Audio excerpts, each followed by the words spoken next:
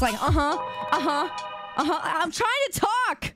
That's so rude. Imagine meeting someone on the street and you're like, hey, can you tell me the directions? And you're just like, ah, ah, ah, ah, ah, ah, ah, ah, ah, ah. I'm trying to talk, sir. You don't do this in.